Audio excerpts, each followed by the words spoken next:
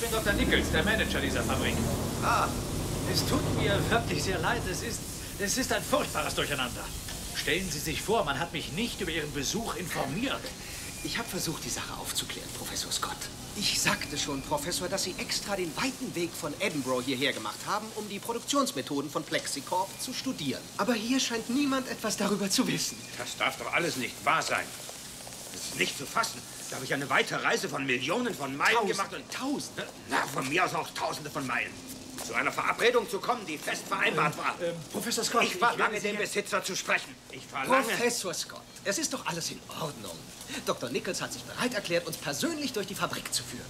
Hat er das? Ja, Mit Vergnügen. Gut, das versöhnt mich wieder. Die Belegschaft wird gebeten, Gregory! den Arbeitsplatz sauber zu halten. Halt.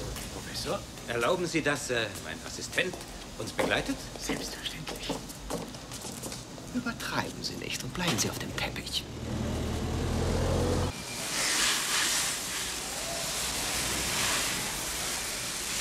Ich bin überrascht. Ihre Fabrik gefällt mir sehr, Dr. Nichols. Danke. Und ich muss Ihnen sagen, dass ich von Ihrem technischen Verständnis sehr beeindruckt bin. Tja, bei uns zu Hause heißt er der Wunderknabe. Tatsächlich. Ja. Darf ich Ihnen etwas anbieten, meine Herren? Dr. Nichols, vielleicht kann ich Ihnen etwas anbieten, was Sie interessiert. Ja? Ich habe gesehen, dass Sie immer noch mit Polymeren arbeiten. Noch? Mit was sollte ich denn sonst arbeiten? Tja, mit was? Ich äh, werde versuchen, Ihnen das anders zu beschreiben. Wie dick müsste eine Ihrer Plexiglasscheiben sein, von der Größe 60 mal 10 Fuß, wenn sie dem Druck von 18.000 Kubikfuß Wasser widerstehen soll? Oh, das ist leicht 6 Zoll. Wir haben solche Größen auf Lager. Ah ja, das habe ich bemerkt. Aber nehmen wir mal an, nur mal angenommen, ich würde mit etwas anderen Mitteln einen ähnlichen Kunststoff erfinden, mit denselben Eigenschaften, der aber nur einen Zoll dick ist. Wäre das nicht eine tolle Sache für Sie? Ne? Sie machen Witze. Vielleicht kann der Professor mal an Ihren Computer. Bitte. Computer? Computer? Oh,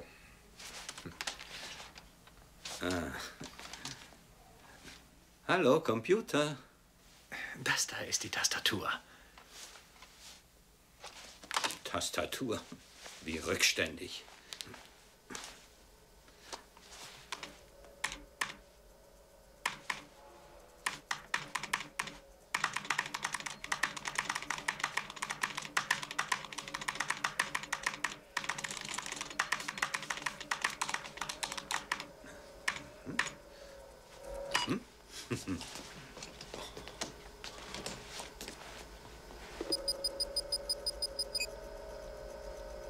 Transparentes Aluminium?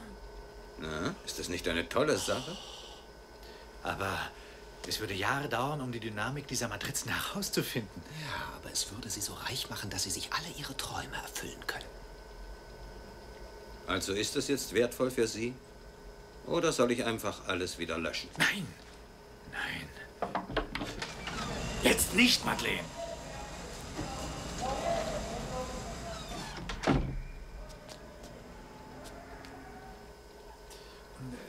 Was, was wollen Sie dafür von mir haben?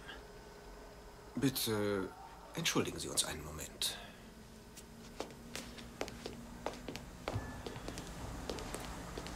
Es ist Ihnen doch sicher klar, dass wir die ganze Zukunft verändern, wenn wir Ihnen jetzt diese Formel geben. Wieso? Das kann doch alles auf seinem Mist gewachsen sein.